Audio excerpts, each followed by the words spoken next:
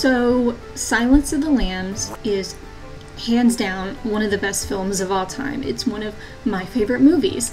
I remember when I first watched it, I had to pause the film two separate times and walk out of the room just to like get a breather because that's how much I felt like I was about to have an anxiety attack.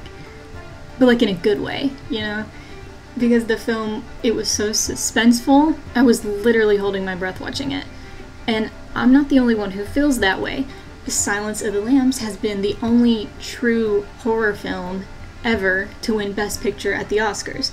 Um, you do have some other films like Parasite and then Rebecca in 1940 that have some horror elements mixed into them, but they're not a full, tired, and true horror film like Silence of the Lambs is. Now, I'll be the first to admit I haven't seen Silence of the Lambs in a very long time, so if I rewatched it now, I might feel like it's a little bit more predictable or I might not be as impressed by it.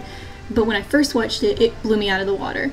Uh, the writing of this film, I thought it was incredible, like I said, so suspenseful.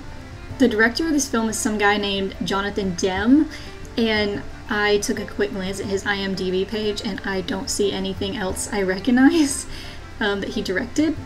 But, you know, if I was a Hollywood film director and the only good thing I had ever directed was Silence of the Lambs, honestly, I would be okay with that because it's that good of a movie. This film was one of the first things that made me realize how powerful films can actually be. How powerful uh, proper camera work, good script writing, music, mise en scène, and good acting can be. And that is where our girl Jodie Foster comes in. I think she does an incredible job in this film at least from what I do remember. Her acting was just really convincing, and her alongside serial killer Anthony Hopkins, what a pair. And again, I'm not the only one with this opinion either because she won Best Leading Actress in 1992 for her role in this film. Now, I'll be the first to admit I probably love this movie so much just because, you know, obviously I'm very biased towards this film. This film was the catalyst that began my obsession with true crime and serial killers and eventually studying criminal justice in my university. Uh, Jodie Foster's portrayal of Claire showed me that women can do these really tough criminal justice jobs and do be incredible at them. This film was so inspiring for me the first time I watched it, and you know, obviously I'm very partial to it for that reason. It just has a really personal place in my heart. So with all that being said, Jodie Foster in this film, incredible. But you know, I was thinking recently, what else have I even seen her in? Really, uh, nothing that I know of. She did direct one of my very top three favorite episodes of Black Mirror, uh, Arkangel. I think that's truly one of the best and most underrated episodes of Black Mirror, and she directed it, so. She also directed and starred in a 2011 movie called The Beaver. The Beaver originally was set to star Jim Carrey at one point, Steve Carell at another point, but they ultimately decided to go with America's sweetheart, Mel Gibson. I had this boyfriend once who was obsessed with Mel Gibson. Now, I'm obsessed with Taylor Swift. I don't know if you can see my posters in the background, but I have Taylor Swift posters all over my apartment, so I completely understand the idea of having a celebrity that's just like your person, you know, your celebrity inspiration. The only thing is, and we'll stick with a Taylor Swift comparison here, there's a huge difference in standing Taylor Swift versus Mel Gibson. In fact, let's play a game to figure it out. Welcome to What is the Main Difference in Supporting Taylor Swift versus Mel Gibson? We couldn't come up with a catchier name. Is it A. Taylor is a singer songwriter while Mel is an actor? B. Taylor is a girl, but Mel is a boy? Or C. Mel Gibson has an extremely lengthy history of putting his foot in his mouth, claiming many times it was due to alcohol and or mental breakdowns, and he once pleaded no contest to domestic abuse claims toward an ex-girlfriend and was charged with misdemeanor battery, while Taylor Swift is not.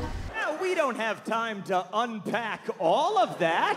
But let's just say the uh, domestic abuse charge came out around the same time as this film, and despite the film being fairly positively received, it bombed at the box office due to Mel's controversy. So we start out with the first scene very strong. You've got Mel Gibson in a pool floating on by, and we get an incredible feet shot right next to the title Yummy. Also, this scene is so funny because we have zero context for it. I mean, it's literally the first scene in the film, of course, and uh, for all we know, Mel Gibson could just be chilling in this pool that's not even like his character's own house in the background, you know?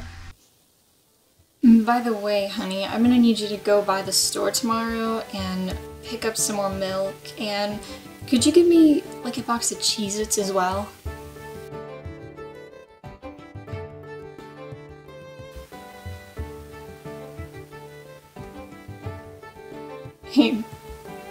Babe, you okay? I think.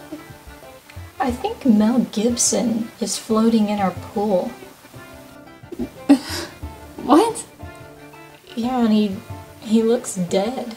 Come on, no, let me see.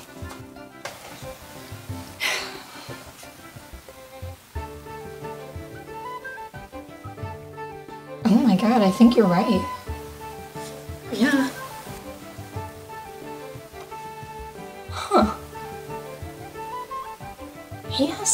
Really nice feet, though. A hopelessly depressed individual. Join the club. So basically, we get this overhead narration with a little montage of Mel's character, Walter, trying tons of things to fight his depression, but nothing's working. He is so depressed. So depressed, in fact, that he gets into bed with his boots still on.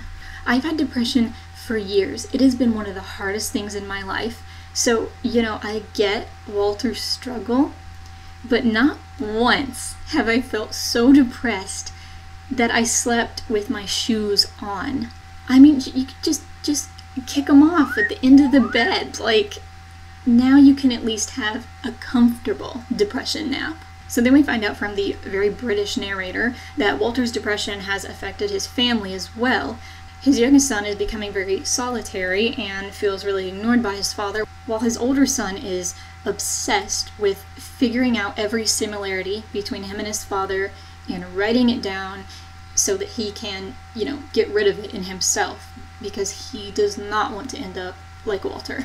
I also noticed right here, it looks like there might be like a hole in the wall, unless that's just like a weird shadow, but it looks like he punched a hole in the wall. So, what do you think his name is? Kyle. So, turns out, made a little uh oh, whoopsie. Uh, turns out when we're first getting introduced to the family, the narrator actually does say the eldest son's name. I just completely missed it the first three times I watched it, and I already wrote and recorded all these jokes, and I will be leaving them in because I think I'm funny. However, what we can conclude from this is that either Mel Gibson's British accent is so bad that that is what led me to not at all hear what he said, or just British accents in general are undecipherable. I'll let you think on that one. There she is, the star of the film, Miss Jodie Foster. Her character, Meredith, is, of course, you know, Walter's wife, and she buries herself in her engineering work which I guess is just playing Roller Coaster Tycoon. So then we see Meredith kick Walter out, and at first this part pissed me off because it's like, that's your husband. You married him for better or for worse. You should help him fight his depression. It looks like he's trying, you know?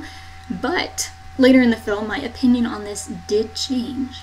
So now we officially meet the eldest son. In this scene, where we see that he's kind of a smarty pants, his uh, Jason Dolley in the 2008 Disney film Minutemen looking friend is asking him to write a paper for him because he's failing the class and he did it for their friend Hector, so why won't he do it for him? So Walter's son eventually does tell his friend he'll write the paper for him after shoving him into a dark hallway and making him pay $200 in a very shady drug deal looking exchange. So, okay, school is in session literally immediately after their conversation ends, the school bell rings. So so students are here. Why are the lights in this hallway off? I tried to think of any sort of joke as to why, you know, the lights were off, and I can't think of anything. I just, I don't get that part. Why were they off? The friend also remarks that the $200 is more than I pay for weed, as if we needed any help telling that this guy is a stoner character. Then, we see her. Ladies and gentlemen, Jennifer fucking Lawrence, J Law herself, is in this film. Now, when I realized this, I was like, oh my god, this was only one year before the Hunger Games, which, you know, basically made J Law J Law. The Hunger Games pretty much turned her into like a household name, but just a year prior, she was in this bomb of a movie. Now, in her defense, things were actually a little different than I just made them sound. The Beaver was actually filmed in 2009, and it didn't come out until 2011. Now, in 2009, Jennifer Lawrence was essentially a nobody. Obviously, she'd had her role on the Bill Engvall show, of which her role was very well received. Um, I've never watched it, I wouldn't know. And she'd had her film debut in Garden Party in 2008. Not such a well received film. Followed by The Burning Plain, which Wikipedia calls a critical and commercial failure and Poker House, which was the most well received film out of the three. So J Law had the Bill Engvall show, those three films, and a couple other really small roles under her belt when Winter's Bone came out, which earned Jen her very first Best Performance by a Leading Actress Oscar nomination at just 20 years old. I am 22, and this is what I am doing with my life. The film was also nominated for a Best Picture of the Year. This was all at the 2011 Oscars. The same year, this film, The Beaver, that Jen had filmed back in 2009, finally came out in 2011 when Jen probably could have gotten a lot, you know, bigger role by then. Obviously, she did. The Hunger Games. The reason for the large gap was because uh, this film actually wasn't ever going to come out. Because nine months after uh, filming completed, and you know the film was getting ready to release, Mel Gibson decided to uh, beat up his girlfriend allegedly. So the studio basically scrapped it until 2011 when they, you know, finally were like, all right, fine, we'll release it. So cut to Walter coming out of a liquor store with a box full of alcohol. Drowning your sorrows and depression in alcohol is, as we all know, a brilliant idea. But uh-oh, Walter couldn't fit his alcohol in his car because remember, Meredith kicked him out of the house, so he's got a bunch of shit in there. Uh, so instead of doing any sort of rearranging, um, he just throws all his shit away in a garbage bin. And when he's looking in the garbage bin, he notices something. No, it is not a heroin needle. That is not the direction the film is going. It's a beaver. No.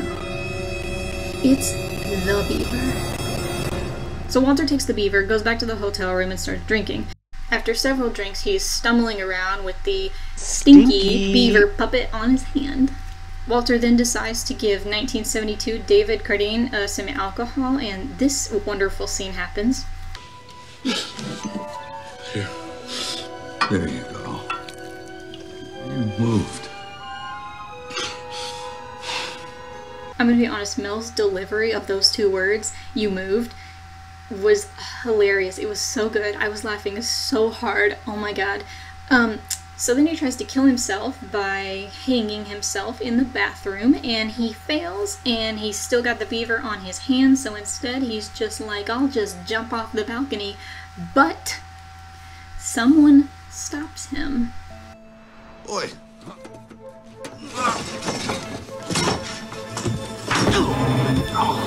But he ends up dying anyway because the TV crushes his skull.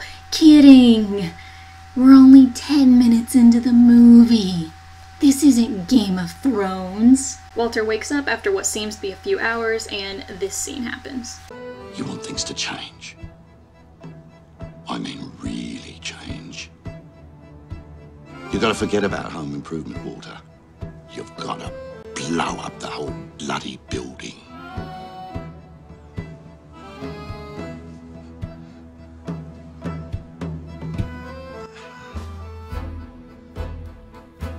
You gonna do, Walter?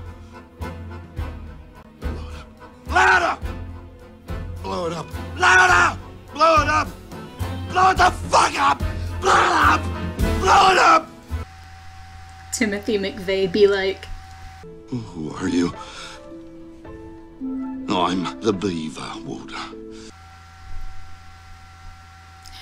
You said the name of the movie.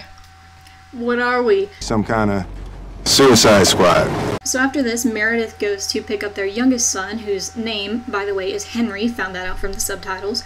Uh, from school, but the teacher is like, no, Walter already picked him up. He said he sent you a text. And the teacher says, Your husband is quite the character.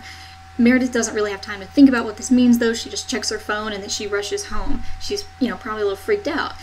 When she gets there, Henry is there and he shows her some little memory box. And she's like, Did you and your dad make this? And Henry says, No. Me and the beaver made it. And then, right on cue, out walks Walter. So, you know, Meredith obviously is confused, and Walter steps out of Beaver character for a moment to explain to her it's a type of program his doctor prescribed to him, and it's supposed to help him recover from his depression. Um, and he's gonna need their full support. And apparently, the program is very popular in Sweden. It's very big in Sweden. Henry seems to be really excited that his dad slash new beaver dad is finally paying him any attention, so he begs his mom to let dad slash beaver dad stay for dinner. Next scene, we find out why J Law wanted off brand Elijah Wood to meet her in the gym. She wants him to write her something, and he scoffs and is like, Bitch, you're valedictorian. You're just trying to rat me out to the principal, and I'm not gonna fall for it. But turns out she's being serious. She needs help not with an assignment, but with writing her graduation speech. This is the scene I decided I hate this kid. Um, his character is the worst. No way. Why? Because it's one thing for your little anorexia squad to get by on their looks. That's all they've got. But for someone like you, it's just it's lazy. A fucking pardon? But cheerleader J Law defends herself. You go, girl. And after letting him keep all the papers she shoved at him to make her point, she walks off calling him a douche. So the elder son, who looks like every army recruiter ever, arrives home and is not impressed with his new beaver dad. No, it seems a bit. I'm not talking to you, nut job. I'm talking to mom. It takes you years to get him out of here, and you let him come back the next night with a talking hamster? It's actually a beaver, son. It's the name of the movie. Try reading the script next time. We find out that dinner that Walter's dad was very distant and depressed and killed himself a while ago.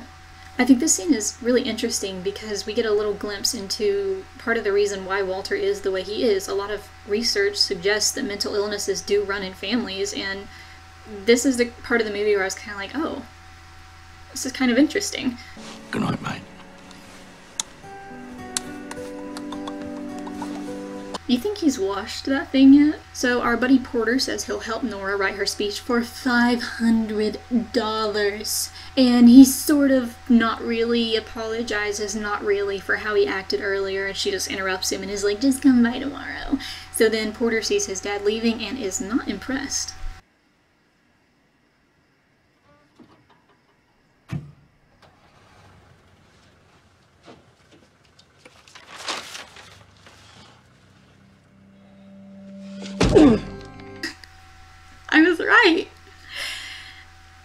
Partially. I feel like smashing your head into a wall is a lot darker than punching a wall, but, you know, that's just one gamer's humble opinion.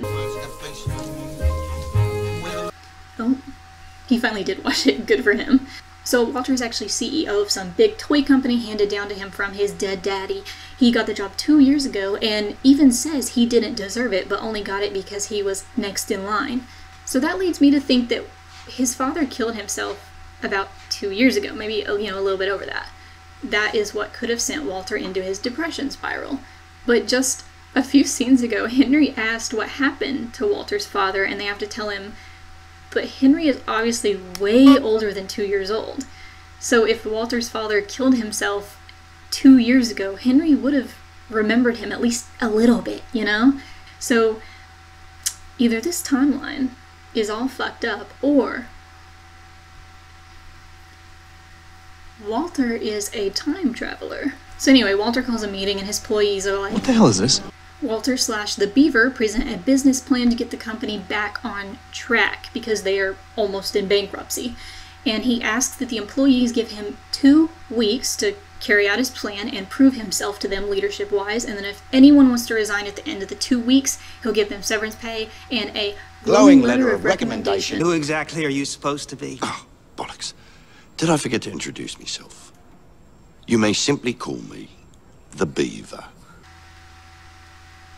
What are we? Some kind of suicide squad. Porter heads over to Nora's to help her with her speech. Okay, well, how do you want people to feel when you're done? I guess I just want them to feel not let down. Not let down. It's powerful. I'm excited, pumped. How are you doing? Me? Um, not let down. Okay, say what you want about J Law, but she's such a cutie.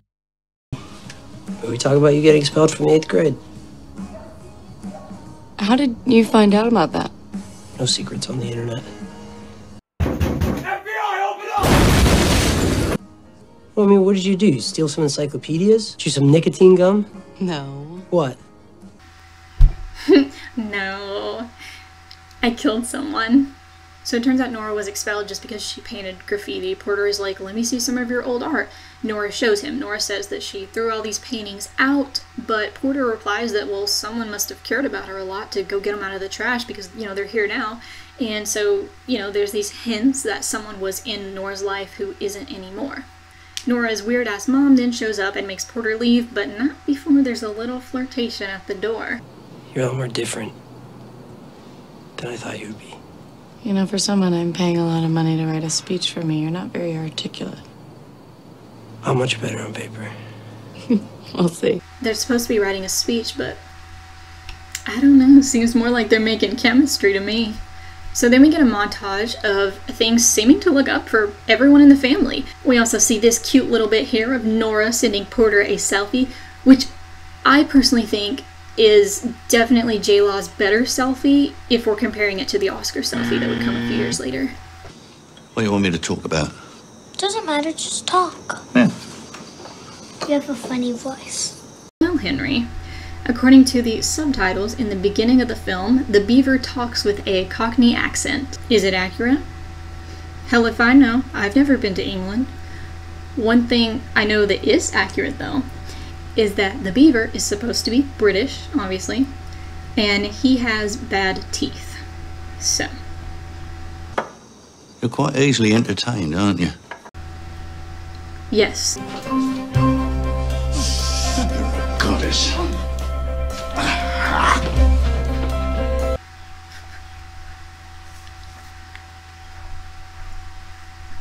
Yes, hello, Pia.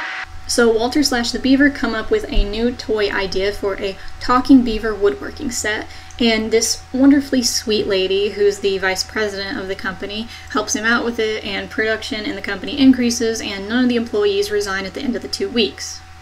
Walter, Meredith, and the Beaver have a lot of threesomes, and now it's their 20 year wedding anniversary. And Meredith is getting upset because she does not want the Beaver to join their date in his little Build a Bear tuxedo. Porter and Nora also go out on a date, and Porter takes Nora to paint some graffiti shit, but Porter does the weirdest fucking thing. He writes R.I.P. Brian, okay? Brian was Nora's brother who passed, the person who got her paintings out of the garage. And I assume Porter found this out through the internet. She basically is like, okay, you freak, who would do this? And then, um, of course, the police show up because they are committing an illegal act of vandalism. So, meanwhile, Meredith and Walter are also out on their date, and the beaver does come, but Walter is out of beaver character, and he's back to his depressed, emotionless self. Uh, so, Meredith gives Walter a memory box as a gift full of pictures of the kids, you know, from when they were happy. And Walter has what I think is a panic attack, and the beaver takes over. Walter slash the beaver says that this is the past, and he basically threatens suicide. Jodie Foster then delivers what I personally think is a great little monologue. She says she knows that the old Walter is still in there, while Walter slash the beaver is like, no, Walter is a lost cause. Meredith says she's fought for Walter for two years when he couldn't even get out of bed. Again, making me think that his father's suicide is what triggered Walter's big bout of depression. She says she's still going to fight for him because she loves him, but she has to know he's coming back to her. Walter storms off, but they both go to the police station to get Porter. Walter is in Beaver character now. Nora and her mom are like, this family is fucking crazy. Porter and Walter fight, and uh oh, that's a big hole. No wonder Porter thought writing R.I.P. Brian would impress Nora. He has brain damage from smashing his head through their house. So Walter comes home, and Meredith is like, I called your doctor. He said he didn't prescribe this program. Duh, Meredith. And in fact, he hasn't been to see the doctor in over a year. So we can assume that for the first few months after the two year period Walter has been depressed after his father died, that's when he was trying to get better by doing all the treatments and whatnot. But eventually he just gave up and stopped going, and that's when he just, like, would sleep all the time. So this was when I understood now why Meredith kicked Walter out. With depression, you have to make the choice to work to get better. Uh, some people, like myself, need a push of medication to help us get the mental strength and motivation to make that choice.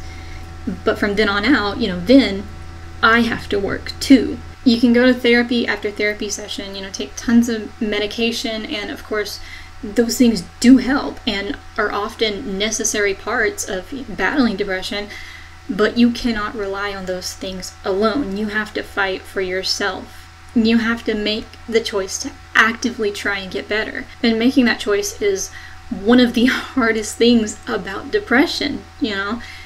That's why a lot of people just never make the choice and they just choose to sort of carry on with this depression, you know, in and they just hope that medicine or therapy will fix them with no action on their part. But that's not realistic. It is a bunch of things combined, and you also have to make the choice to work to get better. It seems that Walter never made this choice. He never actively tried to get better and instead has entered into some sort of disassociation with the beaver. When Walter is the beaver, he isn't depressed. He isn't the depressed man who has failed himself, his company, his father, and his family. Walter thinks he's too far gone for recovery and he hates himself. He hates the depression. He hates how much he's hurt everyone and he sees no coming back from all that. So he's just become a new person essentially with the beaver, which seems like he's just trying to distance himself as far away as he can from himself. Inspiration just comes to you in the middle of the night. Oh, how fun. Matt Lauer from the Today Show. This movie's just full of awful men, isn't it? Next thing you know, OJ Simpson's gonna be making a cameo. So people are obsessed with Walter slash the Beaver, but Walter quickly begins to deteriorate. Being the Beaver isn't exactly making him as happy as it originally seemed. This gives us one of the best fight scenes in all of cinematic history. Hang up. You hang up right now.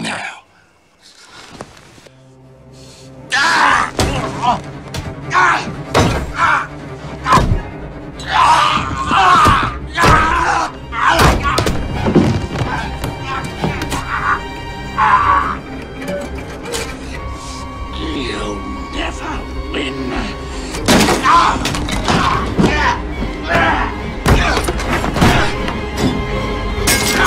Marvel movies need to learn from that scene. So the fight scene results in multiple injuries to both parties involved. The Beaver and Walter are now becoming two distinctly different people. At first, it just seemed that Walter was communicating through the Beaver. But now, it feels like the Beaver is a manifestation of Walter's self doubt, his fears, his feelings of worthlessness. Uh, and then uh, Walter chops his Beaver hand off. It'll be worse than before. Much worse. You want to end up a worthless, lonely piece of shit? You're nothing without me, Walter.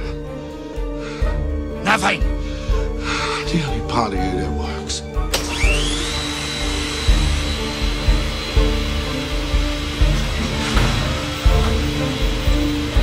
I'm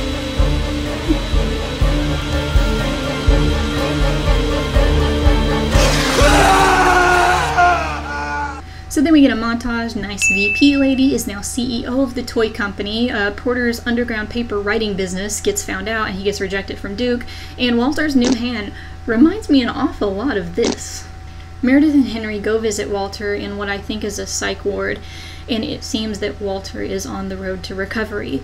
Porter still doesn't want to go see his father, um, and he sort of starts to realize he might be getting depressed as well. Nora is at the RIP Brian wall and asks Porter to meet her there, and he sees she's made this big, beautiful artwork, and she was like, You were right, I did need to talk about my brother.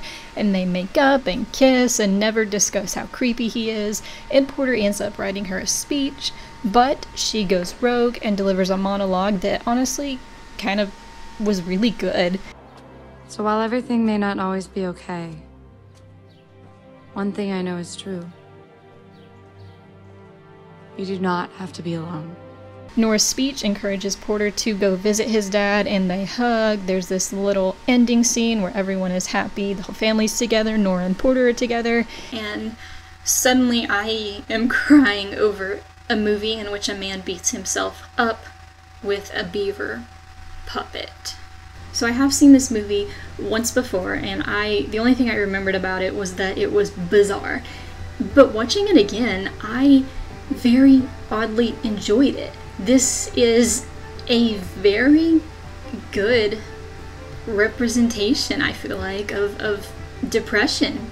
And I found myself relating to Walter, and I, I felt for him because I understand what that's like. I found a, a user review on IMDb, and I think this review sums up the movie perfectly. Although it's difficult to watch Mel Gibson now without the backdrop of alcoholism, abuse, bigotry, rants, and disappointment, this role may actually be the perfect role for him to reappear on the screen with sympathy and hope of redemption. He plays the role perfectly, and the viewer is sucked into the emotion and distress of all the characters dealing with their own challenges. It's a beautiful movie with a powerful message. Some have criticized Jodie Foster's directing, but I found the film to be very balanced with the right amount of comedy and tragedy. I loved the camera work and editing, especially with the beaver as its own character. I also enjoyed the secondary storyline about the teenagers. All the performances were very good. I think the entire movie is very well done, and although I have not changed my personal opinion of Mel Gibson at all, the movie does make you very sympathetic toward families dealing with crises of their own, and as an actor, he pulls off a very difficult role. So, The Beaver. Um, so I have this list. It's just, you know, my own personal list of movies I think everyone should watch at least once in their lifetime. And I might have to add this one to the list. I'm going to be honest with you. This film was uh, bizarre and, you know, there is the Mel Gibson aspect, but it's a good movie.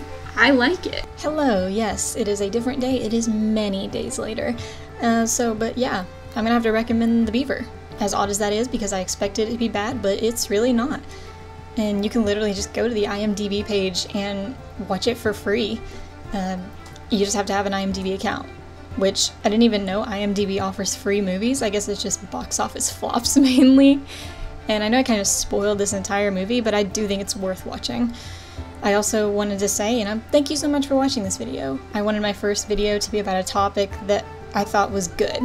So when I thought to do a video on this, you know, I was like, yeah, that's a good idea. It'll be easy, in and out, done kind of thing, and it was not. I worked my ass off on this video, and I'm very overwhelmed that it's so long, meaning no one is going to watch the whole thing except for my best friend Brandon. Hi, Brandon. But, you know, that's okay. I had fun. I'm proud of it. And so, you know, if you want to like the video, that would be super nice though because I crave validation. If you hated the video though, or if you just hate me, I know there's plenty of you out there, make sure you give it a big old thumbs down and while you're at it, go ahead and type some hate in the comments. Would love to sit and argue with you in YouTube comments. Anyway, thank you guys.